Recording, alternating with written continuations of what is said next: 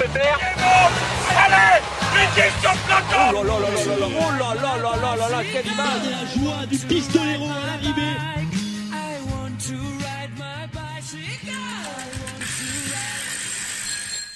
Eh bien salut à tous et bienvenue dans Chasse Patate pour ce deuxième numéro de 2019.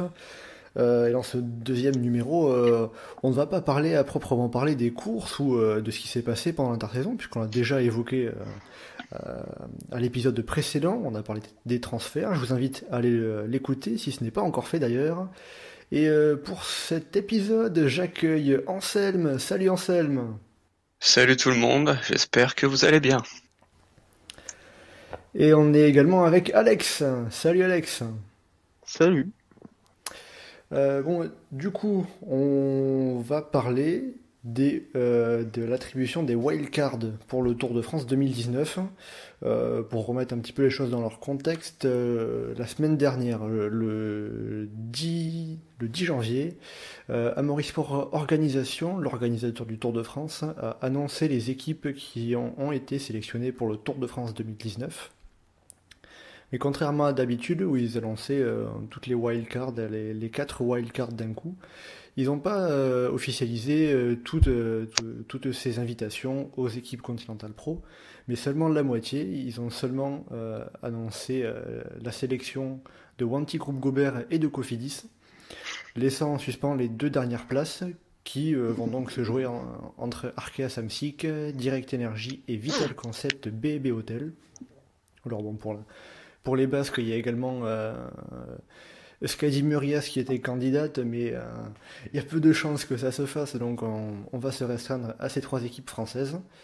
Euh, alors, la justification officielle d'ASO pour cette sélection en deux parties, c'est qu'ils ont voulu anticiper la réforme du cyclisme mondial qui interviendra la saison prochaine, euh, en invitant d'office les deux meilleures équipes au classement Europe Tour en 2018, puisque Wanty était première et Cofidis deuxième.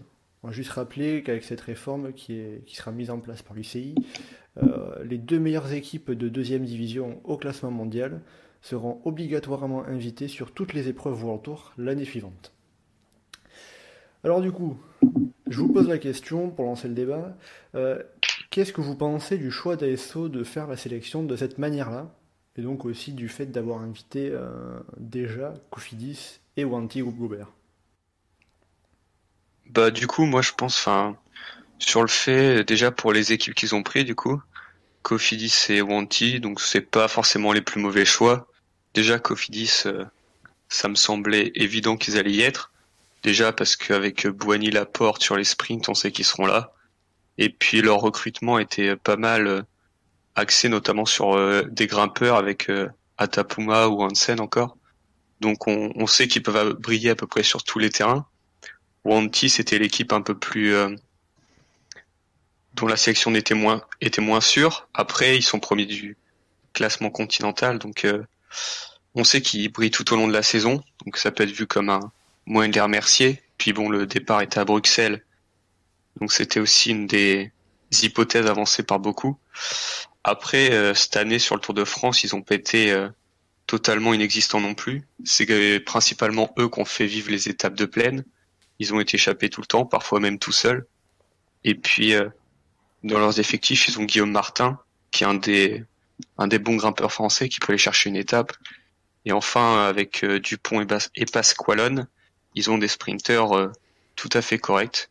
Notamment Pasqualone, c'est 7 top 10 l'année dernière sur le tour. Donc c'est déjà ça.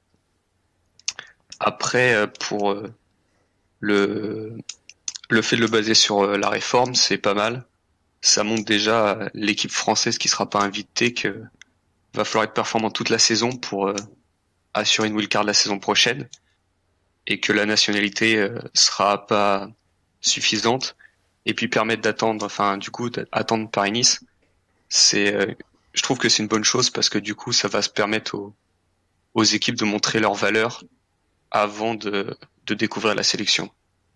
Oui, après, parce que c'est vrai que du coup, euh, avec la façon dont ça a été annoncé, et puis aussi le fait que euh, aussi bien Arkea, Samsi que, Direct Energy et Vital Concept, BB Hotel, seront toutes les trois invitées sur, euh, sur Paris-Nice. Donc ça pourra faire un petit peu un, test. Alex, toi, est-ce que tu penses aussi que c'est une, une sélection assez logique de la part d'ASO Je pense que c'est une bonne idée. Le seul reproche que j'aurais fait, peut-être que je l'aurais pas fait aussitôt. J'aurais peut-être attendu après Paris après pour que ASO ait vraiment, euh, vraiment voile qui vont, qui vont se disputer sur le World Tour. Donc à Paris-Nice, euh, j'aurais par exemple j'aurais invité Wanty au lieu de Delco et voir ce qui ce qui donne sur Paris-Nice et ensuite voir le spectacle qui est offert. Si toutes les équipes sont à peu près sur le même niveau sur Paris-Nice, alors j'aurais mis en place la réforme. En revanche, s'il y avait un écart par exemple plus en faveur de des trois qui n'ont pas été invités et que euh, KSO ne voulait pas inviter, euh, pour le coup là euh, j'aurais réfléchi à deux fois. Oui, après, bon, d'une autre manière, c'est vrai que la ce, ce qu'ASO a voulu faire euh, sur, sur Paris-Nice euh, en, invitant toutes les équipes françaises, c'était d'une certaine manière euh, permettre de,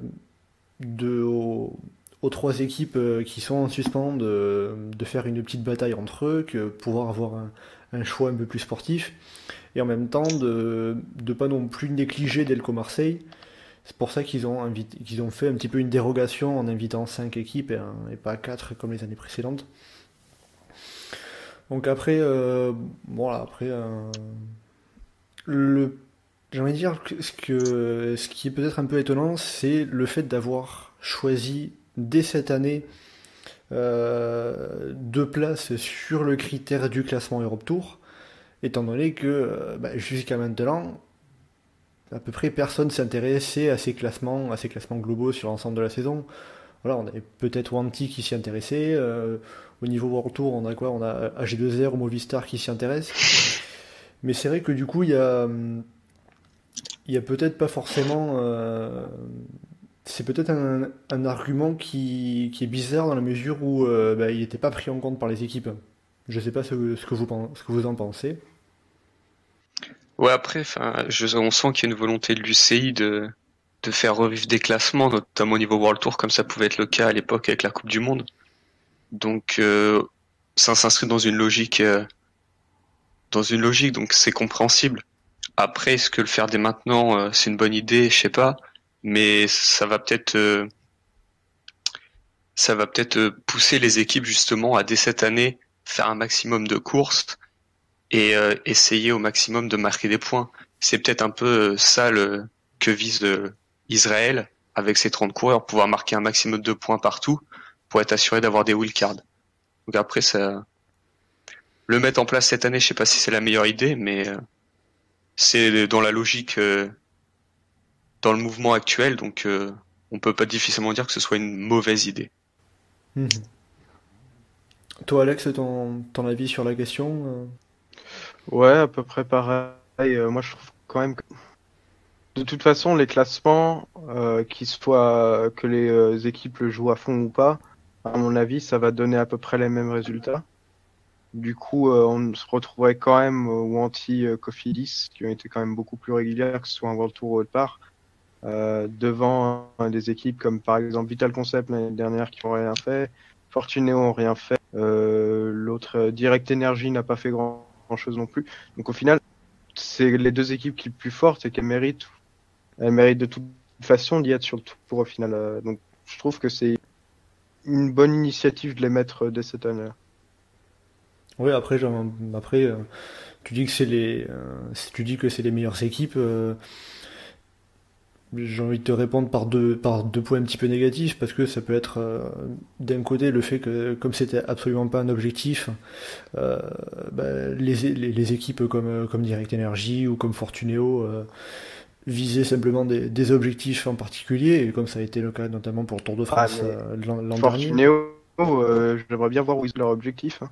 Ah on va dire qu'ils les ont un peu manqués l'année dernière, mais euh, on va dire qu'ils avaient peut-être pas forcément l'envie d'être euh, réguliers sur l'ensemble de la saison et plus performants sur certains points chauds. alors que ben, ça va devenir nécessaire hein, s'ils veulent être dans les, dans les deux premières places. et après aussi, le, ce qui n'est pas du tout pris en compte, c'est les recrues. Parce que quand on voit Direct Energy qui recrute euh, Terstra, Vital Concept qui recrute euh, Vichot, Roland et Gauthier, Arkea Samsic qui recrute euh, Greipel, ben ça c'est pas pris en compte dans les classements de l'année dernière, de, l'année précédente. Donc on peut avoir une équipe qui a pas forcément fait une année super, mais qui va super bien se renforcer et qui risque de passer à la trappe. voilà. C'est le, doute, le risque qui se pose avec euh, Arkea Samsic parce que voilà, ils, sortent d'une saison euh, très moyenne et du coup ça fait qu'ils ne sont pas dans les deux premières équipes euh, Europe Tour. Donc voilà, après, après j'ai envie de dire, ça, ça, ça se rapporte plus à un débat qui va être posé autour de cette réforme. Et d'ailleurs, je, d'ailleurs, je voudrais juste vous, vous demander, au niveau de, de cette réforme, simplement en prenant euh, l'angle des, wildcards, euh, qu'est-ce que est-ce que vous pensez qu'elle va être bénéfique? Euh, je dirais que ça dépend. Ça dépend parce que si c'est si j'ai bien lu et que les équipes ça alors la réforme si j'ai bien compris et vous m'arrêtez si je me trompe un moment parce que je l'ai pas lu on va pas se mentir c'est les deux équipes les deux meilleures équipes à l'Europe Tour sont invitées sur toutes les courses World Tour euh, en la saison suivante c'est ça? Ouais, c'est ça, c'est les, les deux meilleures équipes euh, au classement mondial UCI de deuxième division qui seront invitées sur toutes les épreuves World Tour, mais après elles peuvent refuser. Si j'ai bien compris, elles peuvent refuser les grands tours, mais dans le, le petit graphe que j'avais vu, j'avais pas vu que c'était possible de refuser pour toutes les autres courses. Bah, en tout cas, ça a, pas, coup- ça, ça a pas été spécifié. Alors c'est vrai que Ça va être chaud sur une planning parce que Bah, c'est ça, le limite, truc. limite faire pas euh, faire une promotion décente parce que là euh, si tu les invites sur tous les tous les tous les courses World Tour, c'est en fait des équipes World Tour, ça n'a pas de sens de les laisser en bas en fait. Ouais. Puis même Donc, d'un même d'un- Moi je d'un- dis euh, ça dépend. Hmm. Du coup, ça dépend. Moi, je dirais en fait, il faudrait les limiter à une zone géographique euh, précise ou quoi que ce soit parce que se retrouver avec Cofidis sur le Giro, euh, bof bof, mais bon. Moi, j'aurais plutôt dit, enfin, l'idée est bonne, mais elle est pas poussée assez. Du- J'aurais dit, euh, ok, on les invite à toutes les courses, avec possibilité évidemment de refus, mais j'aurais également mis euh, diminuer le nombre d'équipes World Tour pour permettre une sorte de palier entre les grosses équipes World Tour et avec un contingent quand même d'équipes continentales suffisamment fortes pour peser sur les courses World Tour là où elles souhaiteraient être et les équipes plus euh, continentales plus faibles qui, elles, euh, n'existent qu'à travers les échappées quasiment. Mais euh, après, je pense que c'est une, c'est une bonne chose parce que les wildcards, c'était un peu le, le poker. Et euh, par exemple, une équipe comme Monty, par exemple, si elle se retrouve, elle se retrouve première ou encore dans les deux premiers en fin de saison, elle aura la certitude de d'être invitée sur les courses importantes, même notamment les Flandriennes. Et au niveau du recrutement, justement, ça pourra amener certaines équipes à recruter certaines têtes d'affiche qui auront la certitude de, participer à beaucoup de courses. Comme euh, dans les années euh, 2000, on se retrouvait avec des équipes euh, moins importantes, avec des gars comme Cipollini, mais on savait que la renommée du coureur permettrait à l'équipe d'être présente sur les courses euh, importantes. Ouais, mais après j'ai envie de dire, et ça c'est ce que c'est ce qu'Alex a un peu évoqué, si on, si on regarde d'un point de vue marketing, euh, en gros vous allez avoir euh, des équipes qui vont faire tout le calendrier World Tour sans être en World Tour. Alors à partir de ce moment, quand, quand tu vas voir le, quand tu vas voir ton sponsor, que tu vas lui dire, on fait, on, on fait toutes les courses de l'élite, mais on n'est pas dans l'élite, ça va être un peu, bizarre. En, gros en fait, j'ai envie de dire, euh, les deux meilleures équipes euh, des Pro Series, la deuxième division, qui vont être euh, les, deux meilleures équipes au classement mondial, vont se retrouver en World Tour sans l'être. C'est un peu une situation, un peu le cul entre deux chaises, et c'est un peu étrange quand même. Ouais, je suis assez d'accord là-dessus. C'est pour ça que je, je te dis que le truc qu'il faudrait, c'est que pas forcément, enfin, les inviter obligatoirement, c'est si elles le demandent l'invitation, elles sont sûres de l'avoir. C'est ça qu'il faudrait mettre en place, pense, plus que l'obligation de participer. Hmm. Parce que évidemment, sinon, ça n'a pas de réel intérêt. Au même. Ça revient un peu au même. C'est euh, faire ça, c'est ça revient exactement au même de dire euh, elles, elles sont d'office sur toutes les courses World Tour, mais elles peuvent refuser l'invitation. Ça revient au même que si elles demandent l'invitation, elles seront. La- L'équipe participe aux courses World Tour qu'elle veut. Mais du coup, euh, moi, je, moi, je vois pas vraiment intérêt. Je suis un peu, euh, moi, je, je vois pas ce- que ça apporte de plus qu'une promotion, euh, qu'un système de promotion relégation que je- beaucoup plus, euh, beaucoup plus marché dans le cyclisme.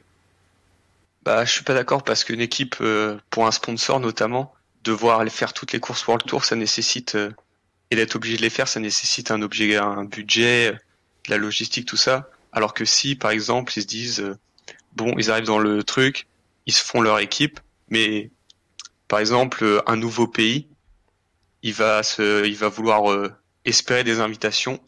Il est pas sûr de l'avoir avec le système actuel, mais euh, avec euh, le système sportif là, et ben il pourra se dire on vise le classement, ils se donnent à fond et comme ça l'année suivante ils seront sûrs de pouvoir faire les courses que World Tour et ce peu importe parce que le système promotion relégation c'est que s'ils se retrouvent en World Tour sans le vouloir, enfin et, et qu'ils se retrouvent sans les moyens de pouvoir euh, gérer une équipe World Tour, ça risque de voir comme les autres années des équipes qui disparaissent, des coureurs au chômage, tout ça.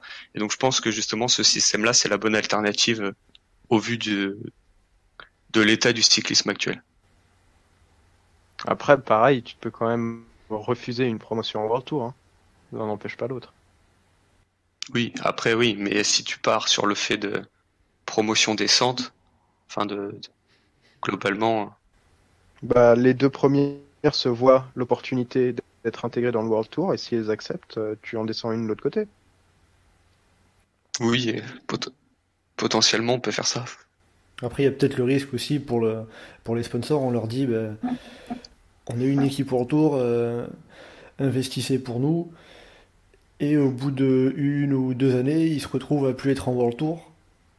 Ça, ça, ça, ça risque aussi d'être problématique à ce niveau-là, quoi. Malheureusement.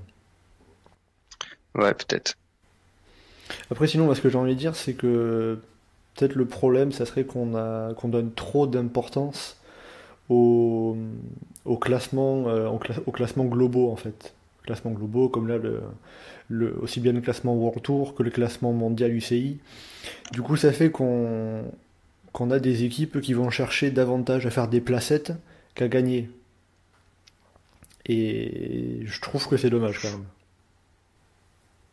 Après, gagner, ça rapportera toujours plus de points que faire des placettes. Donc une grosse victoire par là, ça devrait rapporter plus que euh, un nombre incalculable de placettes quelque part. Enfin bon. Ça Ouais. devrait. Tout, tout, dé- tout dépend du barème qui est mis en place en fait. Si, Oui. euh, si t'as si t'as si t'as peu d'écart entre la première et la deuxième, troisième, quatrième place, euh, voilà, il faudrait il faut donner plus d'importance. hein. En tout cas, si on reste dans, dans ce schéma-là, en voulant euh, mettre vraiment clairement en avant les classements globaux, il faudrait euh, essayer de trouver un moyen pour que euh, la victoire ait toujours un peu plus d'importance encore. Parce que, ben, voilà, si, si on se retrouve avec des calculs d'épicier tout le temps, voilà, c'était, ça s'est, ça s'est pas mal développé en World Tour, euh, dans les, dans les cours, dans les courses un petit peu de, de niveau inférieur, on était, euh, on échappait encore à ça et euh, j'espère que que ça va pas devenir la norme quand même. Bah, eh bien l'avenir nous le dira, je pense. Ouais, on va, on va voir, ça sera une saison de test en tout cas.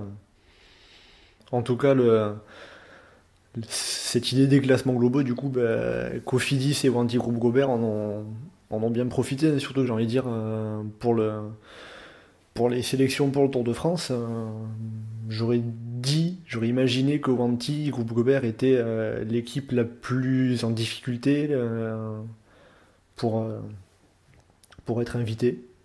Mais du coup, tant, tant mieux pour eux, même s'ils ont des, même s'ils ont des, des bons atouts.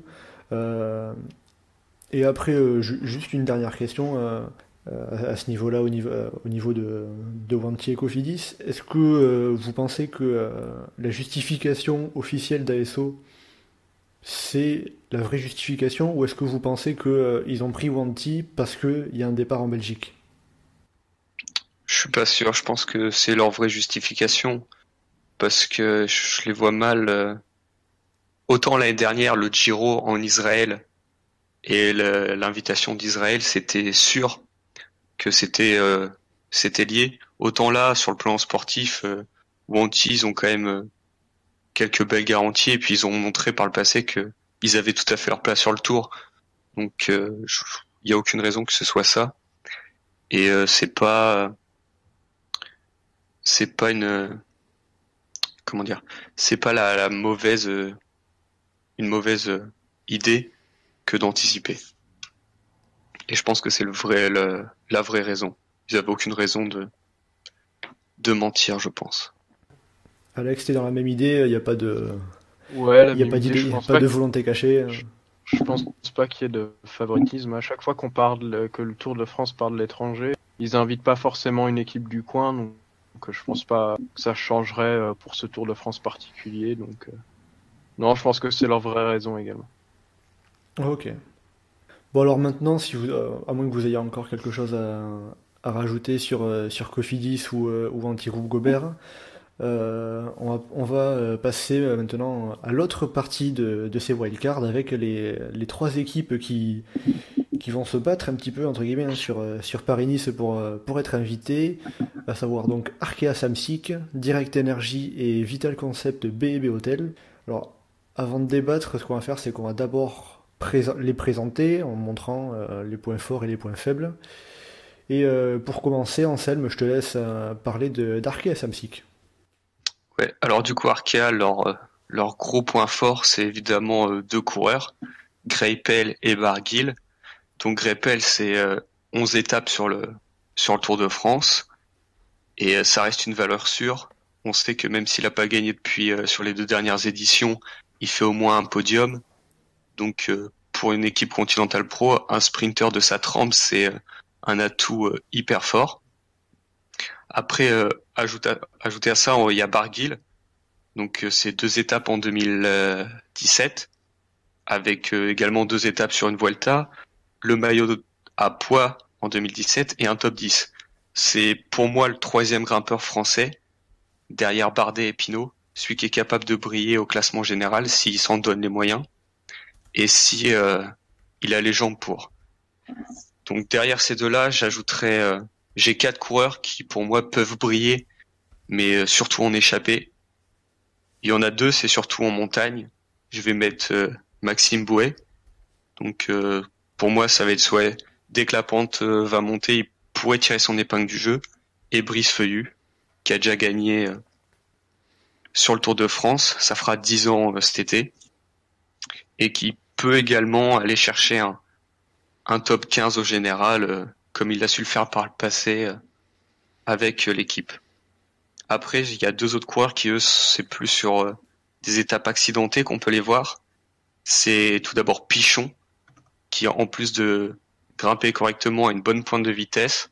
Donc à l'image de Matteo Trentin à Lyon, il pourrait régler, c'était en 2013, il pourrait régler un groupe d'échappés après une étape euh, assez accidentée. Et également, je mettrais Florian Vachon, qui euh, a un profil similaire à Pichon, bien que plus limité euh, au sprint. Après, les points forts, de, les points faibles de l'équipe, ça va être que Greipel est quand même vieillissant. Donc, comme je l'ai dit, il n'a pas gagné sur le tour depuis deux ans. Et avec une équipe moins forte que la Loto, est-ce qu'il va pouvoir le rééditer C'est pas sûr. Et Barguil, il sort d'une saison hyper compliquée. Il a fait 7 top 10 sur la, sur la saison. Il est monté une seule fois sur un podium.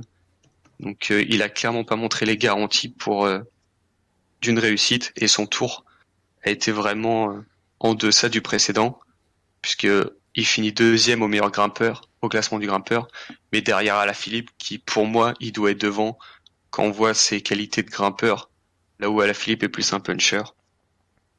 Et puis euh, Greipel et Barguil, c'est un peu les deux arbres qui, cachent euh, la forêt derrière et euh, derrière eux, s'il y a des gars qui peuvent briller, ça resterait quand même très faible.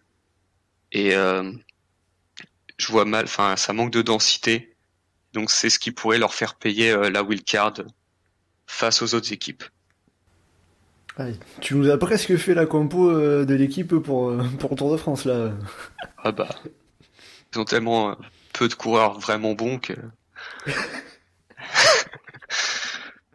J'allais dire Emmanuel Hubert si tu nous entends, mais au final non.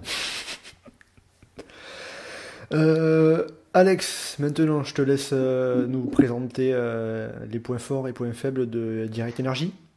Alors, Direct Energy, euh, leur point fort, c'est une grande régularité sur le Tour de France depuis euh, qu'ils ont été invités en tant que brioche la boulangère dans les années 2000. Ils ont été, ils sont venus sur le Tour de France régulièrement, ils ont régulièrement, ils sont, ils sont montrés à l'avant régulièrement. Euh, c'est l'équipe invitée qui a le plus gagné sur le Tour de France. Euh, le point fort de cette équipe, c'est leur recrutement, avec un recrutement plutôt euh, incroyable. Enfin, on s'y attendait pas vraiment euh, pour une équipe du calibre de Direct Energy, avec euh, Niki Terpstra, qui est plutôt flandrien, avec Nicolo Bonifazio, le jeune Italien qui sprinte plutôt pas mal, avec Anthony Turgis, qui sera un bon équipier notamment, euh, qui, se renforce donc du coup avec Lilian Calmejane, qui devrait être le leader de l'équipe, et euh, des euh, coureurs quand même très solides comme Jonathan Hiver ou Adrien Petit par exemple. Le la grosse faiblesse de l'équipe, c'est que il y a un top sprinter ou un top grimpeur comme, comme on peut le voir dans les autres. Euh, chez Fortuneo, on a Greipel, Barguil qui sont deux top enfin c'est un top grimpeur et un top sprinter, on ne retrouve pas ça chez Direct Energy. Lilian Calmejane, c'est plutôt un bon baroudeur, mais ça n'a jamais été quelqu'un qui visait vraiment les grands tours. Nick Terpstra, on va pas se mentir, sur le Tour de France, il sera inutile. C'est un très gros coup pour les Flandriennes, mais sur le Tour de France, à part euh, bûcheronner dans la plaine ou faire des grosses échappées, il va servir à rien. Et Nicolo Bonifazio, il a donné aucune garantie comme Greipel pouvait en donner euh, l'année dernière. Euh, Nicolo Bonifazio, il a surtout fait un gros début de tour, mais il, il a été très très faible sur le, enfin, gros début de tour, je raconte n'importe quoi, gros début de saison. Il a été très bon, il s'est un peu ramassé sur la fin. Du coup, il n'a pas vraiment donné de garantie comment il pouvait performer en World Tour. Et pour moi, ça reste inférieur à un Cocard ou à un Greipel comme on peut euh, aligner chez Vital Concept. Euh, donc je me suis amusé à faire une start list pour le Tour de France. J'aurais mis Terpstra, Bonifazio, Petit, Calmejane, Taramae, Sicard, Turgis. Ça envoie pas du rêve. Donc du coup, euh, pour que Direct Energy obtienne cette ils vont devoir euh, prouver euh, sur euh, les wildcards qu'ils auront sur Paris-Nice, le Dauphiné et les Ardennaises, qu'ils en sont dignes et qu'ils peuvent aller chercher des victoires sur le Tour, voire mieux. Ok, très bien. Donc du coup, pour finir, moi je vais, je présenter un petit peu Vital Concept. Alors, côté, euh, côté point positif, c'est que déjà c'est une équipe qui est un petit peu, euh, un petit peu comme peut briller sur tous les terrains. Euh, puisqu'on a euh, Brian Cocard qui peut, qui, est là pour les sprints, on a Pierre Roland qui, est là pour la montagne, et on a aussi des coureurs un petit peu pour les, pour les profils d'étape dits intermédiaires, comme Cyril Gauthier ou Arthur Vichot. Après, il y, a, aussi un argument qui est peut-être un peu moins sportif, qui est plus économique, marketing, c'est que euh, c'est une équipe qui s'est créée avec la volonté d'aller sur le Tour de France dès la première année. Bon, ça s'est pas fait, en même temps c'était compliqué, hein, puisque euh, si, si je ne me trompe pas, il y a que l'équipe Cervelo qui a, eu, qui a reçu une wildcard euh, pour le Tour de France dès sa création. Et donc, euh, j'ai envie de dire, euh, de fait, si ASO refuse euh, la participation au Tour de France à Vital Concept euh, BB Hotel pour la deuxième année consécutive, bah, il se pose le doute de est-ce que ça ne pourrait pas euh, porter préjudice à, euh, l'équipe? C'est un petit peu un risque de ce point de vue-là. Donc euh, après voilà, après euh, ça peut également donc voilà être euh, en quelque sorte un argument marketing. Euh, D'autant plus que euh, voilà, un Brian Cocard, un Pierre Roland, ce sont des coureurs qui sont bien connus du grand public, qui, qui, sont, qui, attirent pas mal de monde. Donc euh, c'est des noms sur lesquels on peut communiquer. Donc euh, ça serait de la même manière encore un petit peu, ça pourrait être dommage de, de s'en passer. Après, voilà, pour, le, pour les côtés négatifs, il n'y a peut-être pas ce, euh, ce top coureur entre guillemets, parce que euh, ben, Brian Cocard, euh, l'année dernière, euh, en 2018, on, on l'a vu un petit peu en difficulté, même si c'est, même s'il a gagné quelques victoires. euh, il a toujours pas ce déclic en World Tour. Alors, certes, ça pourrait être l'idée du défi pour, pour Vital Concept. Il a déjà fait un podium au sprint euh, où il a perdu de, quelques millimètres face à Marcel Kittel. Il pourrait aller chercher euh, ce, cette victoire euh, dans, un déclic sur le Tour de France, ou même ça pourrait se, déclencher sur Paris-Nice. Et après également, Pierre Roland. Ben, Pierre Roland, c'est actuellement c'est un petit peu comme Lilian Calmejane, c'est un coureur qui est surtout dans les échappées, qu'on voit un peu moins. Euh, si, Pierre Roland retrouve son niveau, oui, mais euh, en tout cas, Pierre Roland n'a- pas forcément la garantie d'un excellent grimpeur. Donc c'est vrai qu'il y a peut-être cette, euh, cet écueil-là un petit peu, et même de la, même manière, si on regarde en, en dehors de Cocard et Roland, ben, ça peut être bon comme ça peut être euh, moins bon. hein. Voilà, c'est un, petit peu comme ce que j'avais dit sur le, dans, dans l'émission précédente sur, euh, sur les transferts, des, des Gauthier, des Vichot ou même des Roland, c'est un petit peu des paris à relancer. Euh, donc euh, c'est pas une pas une garantie complète en tout cas. Voilà. Après c'est vrai que ben, au final si on regarde une, une compo euh, une compo type qu'on pourrait avoir par exemple euh, Cocard, euh, Reza, Lebon, euh, Jimmy Turgis, euh, Gauthier, Vichot et Roland, c'est une équipe qui peut être pas mal, qui peut être intéressante, avec des coureurs pour accompagner Cocard, mais aussi des coureurs pour, aider Pierre Roland. Et pour finir sur un point positif pour, pour Vital Concept, on peut dire que Pierre Roland pourrait aller jouer un maillot à poids. Et, euh, même si c'est que entre guillemets des échappés, euh, jouer un maillot à poids, ça peut être très intéressant. Bon, voilà du coup pour, euh, pour la présentation de ces, de ces trois équipes. Euh, maintenant, on va passer au débat. Alors la question elle est simple. Selon vous, quelles équipes devraient être sélectionnées par ASO pour être sur le Tour de France 2019 Anselme, à la place d'ASO, tu sélectionnerais qui? Moi, c'est Arkea et Vital Concept directement. Parce que, comme on l'a dit, Direct Energy, c'est en dessous. Euh, Calme Jeanne, en haute montagne, il sera trop limité. Et au sprint, c'est pareil, ils sont en dessous des autres. Bonifacio, il est en dessous de Cocard. Clairement en dessous de Greppel. Et pour moi, c'est plus euh, l'équipe que c'était euh, à l'époque de Vauclair et de Pierre Roland. Pour moi, euh, bah, Vital Concept a repris beaucoup de leurs coureurs et a repris ce rôle-là d'équipe des Français avec euh, et de la bonne de copains. Donc euh, clairement pour moi c'est Direct Energy qui a pas le c'est surtout sur le plan sportif, ils ont pas le ils ont pas l'effectif pour rivaliser face aux deux autres équipes françaises qui euh, de par leur recrutement se sont énormément renforcés et pour moi éjectent Bernaudot de, du Tour de France. Et toi Alex, tu laisserais également Direct Energy sur le bas-côté Alors euh, moi j'inviterais Israel Cycling à Telco Marc Provence. Non je rigole, je je ferai pas. Là ça y est, c'est le troll de l'émission. Merci, au revoir. Voilà. Donc non, en vrai, euh, je ferais exactement pareil. Euh, pour moi, il y a trois choses qu'une équipe doit avoir pour aller sur un grand tour. C'est un bon grimpeur, un bon sprinter et un, un bon chasseur d'état. Et sur les trois points, Vital et euh, Arkea Samsic ont, une, un meilleur coureur à chaque poste pour, euh, pour chaque. Sur le meilleur euh, sur les grimpeurs, Barguil au-dessus de Kelmejan, au-dessus de Kelmejan, euh, qu'on le veuille ou non d'ailleurs. Même si Calmejean a remporté une étape plus récemment que Roland, Roland, ça reste quand même une valeur à peu près sûre en montagne, que ce soit pour le maillot à poids ou pour les échappées. En sprint, il n'y a pas photo. Greipel, Cocard, ça tape Bonifazio tous les jours. Et sur les étapes, euh, quand tu regardes euh, chez Direct Energy, il y a vraiment personne à part Calmeja. Peut-être Hiver ou Anthony Turgis dans un bon jour, mais j'y crois pas du tout. Euh, tandis que chez euh, Vital Concept, par exemple, on retrouve Arthur Vichot. Après, c'est vrai que sur Arkea Samsic, il n'y a pas vraiment de grosse profondeur d'effectif.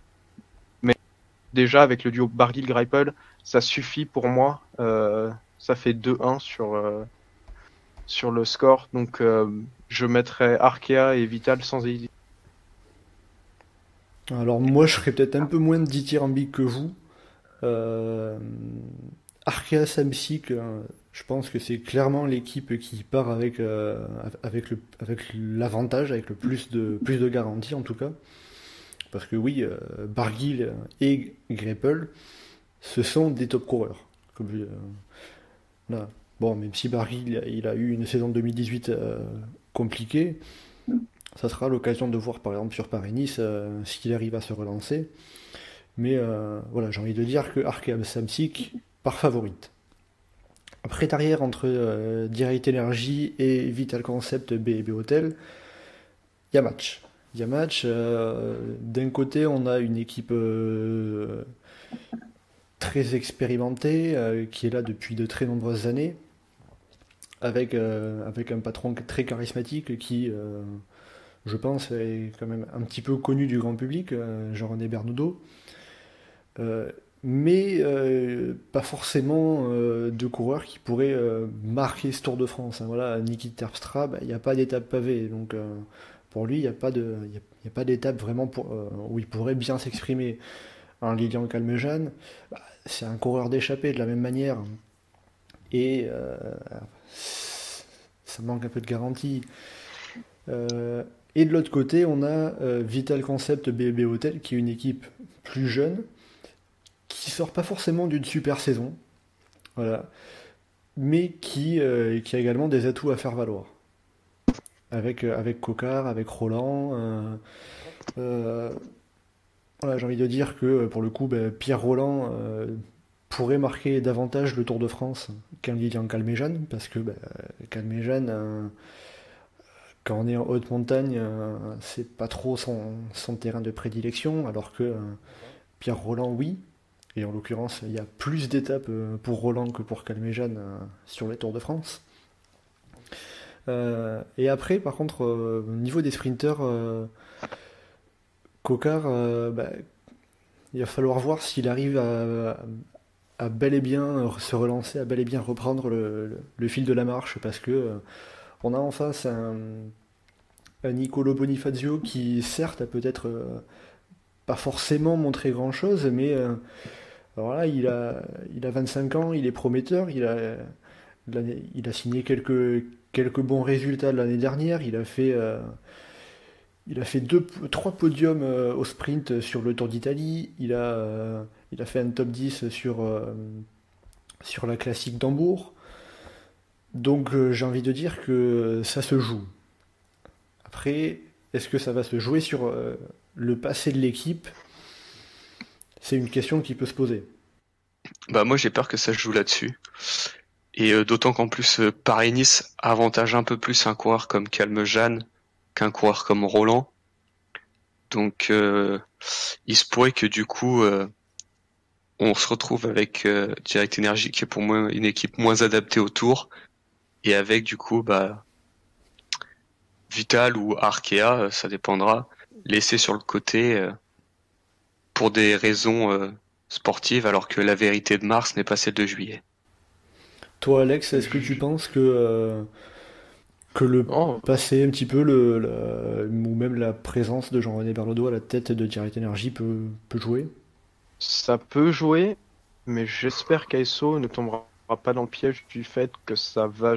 Euh, j'espère pour moi qu'ASO regardera les équipes, le potentiel que ça peut avoir en termes de spectacle et en termes de, de victoire, et dira celle-là, elle est meilleure que celle-là sur le papier.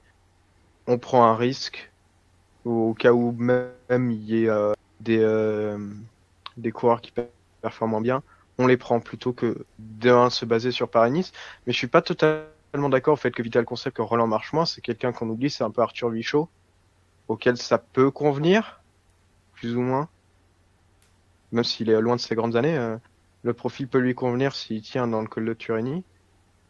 Et sur le reste, euh, voilà, j'espère juste que ASO euh, ne fera pas de décision brusque et ne fera pas jouer l'ancienneté sur ce coup parce que ce serait vraiment. Ah, aussi, juste un truc pour revenir sur Bonifazio. Ces trois podiums sur le Giro, faut voir qui tape, hein, parce que il finit derrière Viviani, mais derrière c'est Van Poppel, Venturini, Gibbons, Conclave. Voilà.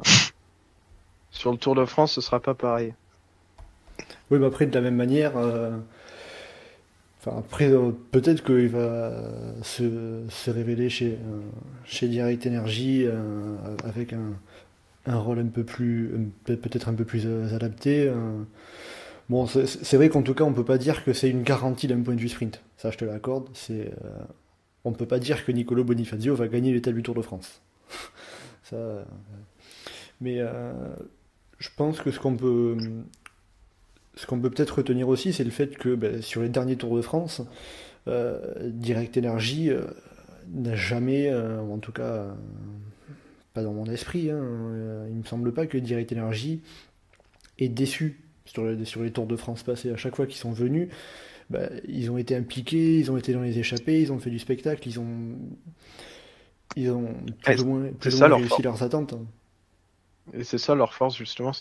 Ils sont capables à chaque fois, sur tous les Tours de France ils ont participé, ils arrivent à mettre une certaine ambiance, ils arrivent à prendre je sais pas combien d'échappées, ils arrivent à claquer des étapes, ils arrivent à être réguliers à chaque fois sur le Tour de France et c'est ça la force de Direct Energy, c'est ça qui peut faire pencher la balance éventuellement euh, en leur faveur.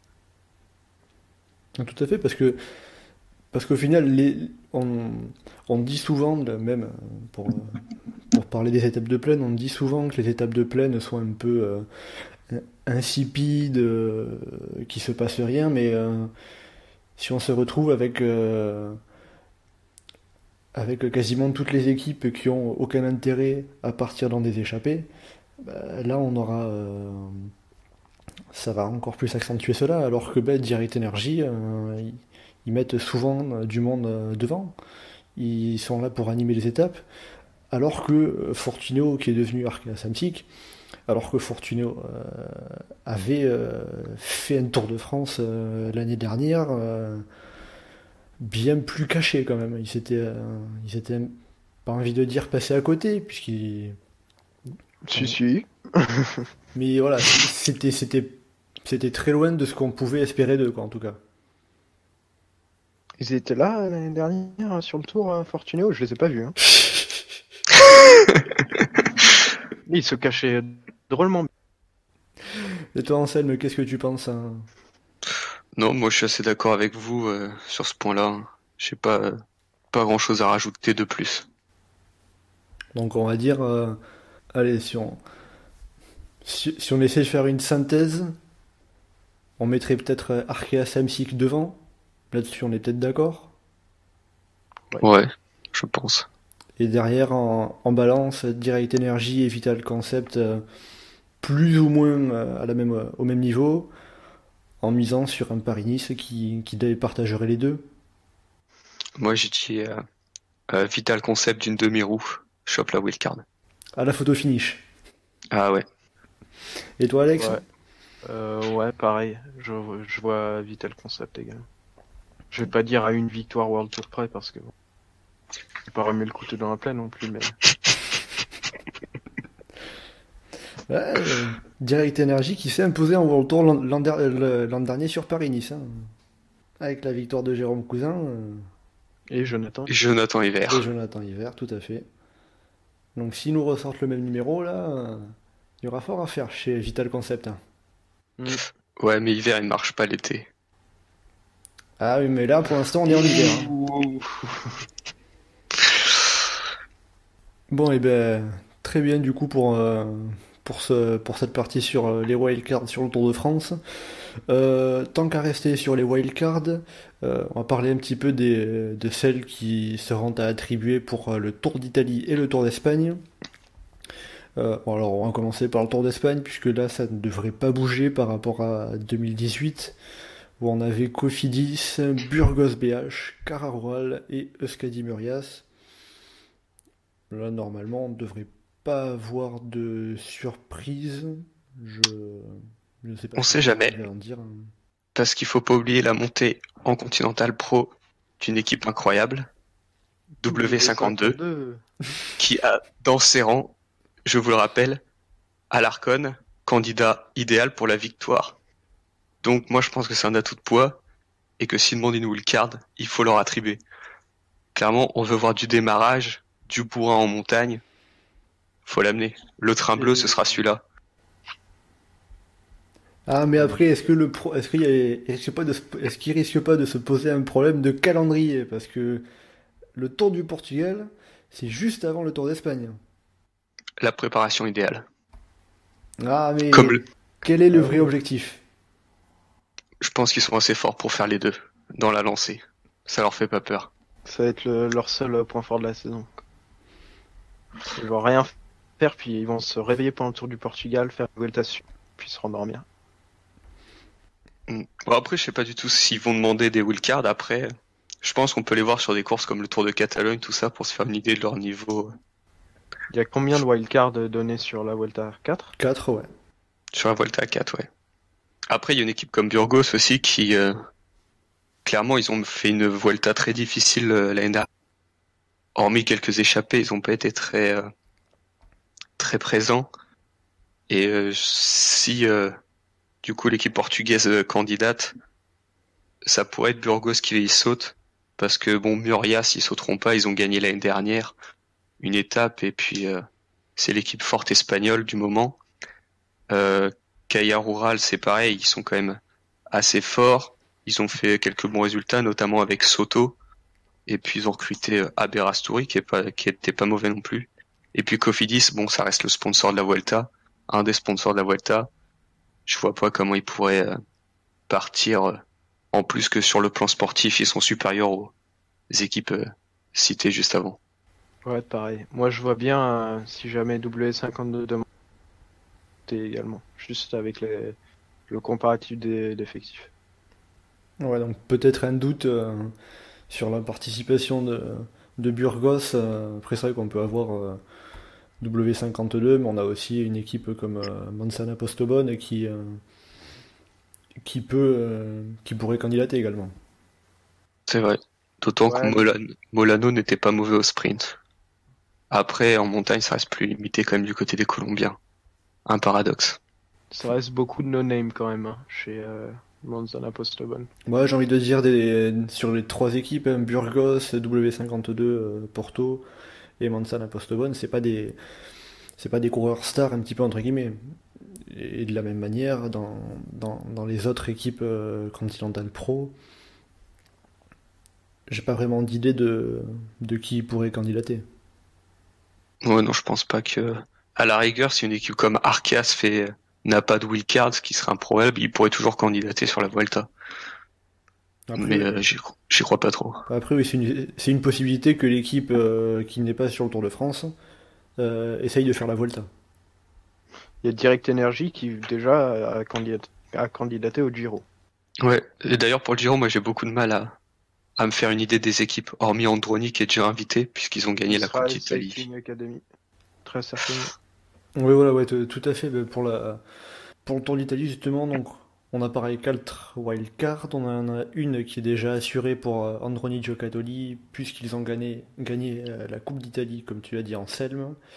Et derrière, on a 5. Euh, on, pourrait avoir 5 équipes candidates, plus ou moins déclarées. En tout cas, on sait que Direct Energy est candidate à une wildcard. Donc, avec la volonté de faire deux grands tours, ce qui est quand même pas assuré. On est d'accord là-dessus.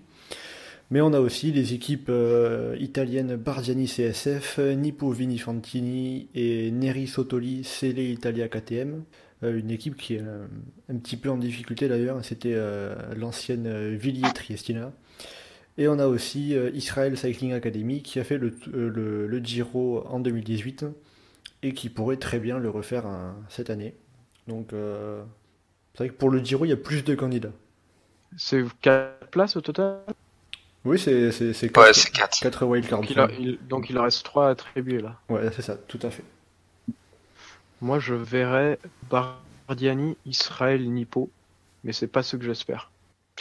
Ah, moi, je suis pas du, enfin, je suis déjà, je suis pas d'accord avec toi, parce que pour moi, Neri Sotoli va devrait y être, parce qu'avec la recrue de Visconti, de Dyer Quintana, c'est des gars qui sont costauds pour aller chercher des étapes euh, sur les, des victoires d'étapes sur les étapes accidentées en montagne. Dyer Quintana, il, pour moi, il était euh, assez bridé à la Movistar, et cette année, euh, c'est l'année où il doit se, se révéler, s'il se révèle un jour. Et Visconti, c'est une valeur sûre, euh, très costaud dans les petits, en petit comité sur les étapes accidentées comme il y a sur le Giro. C'est la, c'est parfait. Après, et d'autant qu'ils ont des coureurs intéressants avec notamment le retour de Bongiorno, qui en 2014, si je dis pas de bêtises, avait été très fort sur le Zoncolan avant d'avoir été bousculé par un spectateur. D'autant plus que la Bardiani, ils ont Guardini, Barbine qui sont, qui ont fait un bon Giro l'année dernière, même si Guardini est parti très vite, euh, très vite rentré chez lui. Mais ils ont perdu Ciccione aussi. Et euh, en montagne, ils seront beaucoup plus limités. Et pour moi, ils ont un effectif très faible cette année. Et bien que ce soit l'équipe euh, un peu euh, phare pour les jeunes Italiens, elle est, elle est très peu, euh, elle perd des atouts. En face, on a la Nippo, donc euh, qui a Lobato depuis quelques années, qui est euh, un sprinter correct et qui en plus passe très bien les bosses. Et cette année, ils ont recruté Moreno Moser. Donc, euh, est-ce que ce sera un bon choix pour lui? Est-ce qu'il va se relancer? Je sais pas. Mais ça fait toujours un nom, euh, un nom attrayant pour un, pour un organisateur qui plus est en Italie. Après, il y a les équipes comme du coup Israël et Direct Energy. Israël, ils ont beaucoup de sprinters, mais c'est pareil, ça va être des petits sprinters de top 10, top 5, guerre plus. Et en montagne, hormis euh, Hermans, Plaza peut-être, qui avait fait deuxième d'une étape l'année dernière, c'est plus, euh, plus limité. Et pour moi, justement, c'est Direct Energy qui est parmi les plus, euh, les plus sérieux candidats, d'autant plus s'ils ne font pas le Tour de France. Et euh, si j'étais organisateur, je les mettrais sur le Giro et pas sur le Tour, parce que justement, Calmejane, qui a un profil un peu à la Visconti, il trouverait un terrain de jeu parfait en, en Italie. Mais Taramae, il y aura une concurrence un peu plus faible aussi. Il pourrait aller remporter une autre étape. Et puis au sprint, euh, Bonifacio sur le Giro, il peut gagner, ce qui est pour moi impossible sur le Tour. Donc, euh, si je devais choisir, j'aurais mis euh, Neri, Nippo et Direct Energy. En tout cas, ce qui est sûr, c'est que les cinq équipes qui restent, euh, qui, qui, qui sont là pour les trois dernières wildcards sont euh, d'un niveau à peu près similaire, ça quand même. J'aurais euh, pas mis, j'aurais pas mis Nippo moi. J'aurais mis Neri euh, Direct Energy, Bardia Nippo. Quoi. Ça reste quand même une équipe phare euh, des années récentes. Ouais, ouais. Après, ils ont eu des problèmes de d'ordre euh, extra sportif un peu avec pas mal de de coureurs suspendus euh, ces dernières années. Quelle équipe hein? Bardiani, avec euh, Ruffoni, il y avait eu euh, Pirazzi, entre autres, qui avaient été- eux c'était juste avant le Giro 2016 d'ailleurs. Ça les a pas empêchés de participer. au- Ouais. Mais je pense que, enfin après, je sais pas ce que font les organisateurs, mais pour moi, Guardini et Barbine, c'est plus faible que Lobato ou Moser. Et c'est surtout que, en dehors de ces deux têtes d'affiche, Bardiani, ils ont pas beaucoup de coureurs. Et en perdant euh, leur grimpeur italien, euh, pour moi, c'est, c'est un peu ce qui les pousse euh, hors du Giro. Et Moser, il a rien fait depuis 2-3 ans déjà. Lobato, il va faire quoi des 7 Moi, je, franchement, un sprinter italien comme Guardini, je vois un autre qui est un espagnol et puis Moser qui a rien fait depuis 3 ans, je signe Bardiani quand même. Après, quand Moser aura gagné les Strade Bianche, ça changera la donne. Euh, effectivement, il gagnera euh, le classement euh, par là. Voilà. Non, après, bah, justement, pour le Giro, le début de saison sera assez important, je pense. Et s'il y a une équipe qui a du retard à l'allumage, ça risque de lui être fatal. Après, de la même manière, tout dépend de quand est-ce que RCS Sport va annoncer les, les wildcards, parce que euh, s'ils annoncent les, les 4 wildcards avant que ASO euh, annonce les leurs, ben, ça risque de porter préjudice à Direct Energy, par exemple. Euh, ouais, c'est pas faux, ouais. Alors, alors que, ben, j'ai envie de dire, Direct Energy, s'ils font pas le Tour de France, ils, auront, ils seraient très bien sur le Tour d'Italie et ils seraient largement devant, devant les autres là-dessus. Il n'y a pas, de, pas trop de doute pour moi. Euh, c'est pas vrai. Mais en plus, c'est vrai que RCS a l'habitude de donner les invitations du Giro en même temps que Tirreno, Milan-San Remo, Bardi. Ouais, de faire, Donc, un, de, de, faire un petit bloc. Hein. Ouais, ça pourrait. Après, est-ce que du coup, du fait de l'inconnu Direct Energy, ils vont retarder? Je sais pas. Mais euh, c'est sûr que si ce Direct Energy se retrouve sans grand tour, ça va leur faire bizarre. Mm. En tout cas, après, pour, le, pour les équipes italiennes, je pense que Bardiani va, y être encore une fois. Parce que euh, voilà, ils ont, ils ont quand même suffisamment de garanties. C'est une équipe qui est là depuis de très nombreuses années, euh, qui a fait euh, beaucoup de, beaucoup de Giro. Et voilà, des, garçons comme, euh, des garçons comme Guardini peuvent faire de, bons résultats. Après voilà, même s'ils ont perdu Giulio Ciccone, ils seront, euh, ils seront certainement en mesure de faire un, tour d'Italie tout à fait correct. Euh, après, derrière, euh, entre Nippo, Israël et Neri, c'est la, tâche se complique. Nippo, Nippo Vigny Fantini n'a pas fait le Giro en 2018. mais là, ils ont leur chance, puisque ben, en face, Neri Sotoli a, pas mal perdu en, termes de qualité, euh, pas mal perdu de coureurs. Euh, et on a aussi euh, Israël qui a fait un tour d'Italie bah, où ils se sont montrés quand même au final. Avec des coureurs italiens qui pourraient faire de belles choses et j'ai envie de dire voilà, comme j'ai dit pour Bardiani que euh, Guardini c'était un argument intéressant, ben, Chimola il peut l'être tout autant du côté d'Israël. Donc euh, si Direct Energy euh, ne fait pas le Giro en tout cas, Israël aura tout à fait sa place pour moi. Qu'est-ce que vous en pensez d'Israël? Vous avez dit il y a beaucoup de sprinters mais ils ont un petit contingent italien, ça peut peut-être jouer également. Ouais, c'est vrai. D'autant que j'ai vu, enfin après j'ai vu passer aussi que le propriétaire d'Israël s'est prêt à verser une compensation s'ils sont invités.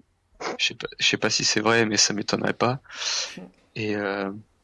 après c'est surtout que l'année dernière, enfin Plaza a failli gagner une étape, donc euh...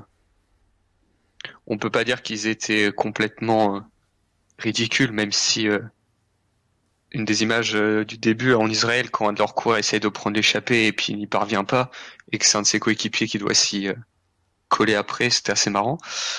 Mais euh, bah, j'ai peur que le, on se retrouve avec par exemple Belletti, Chimolai sur le sprint et puis un peu comme à l'époque euh, Androni quand ils avaient Belletti, Apollonio, c'est les deux sprinters font 7 et 8 et puis bah dans le fond ça n'a pas grand intérêt.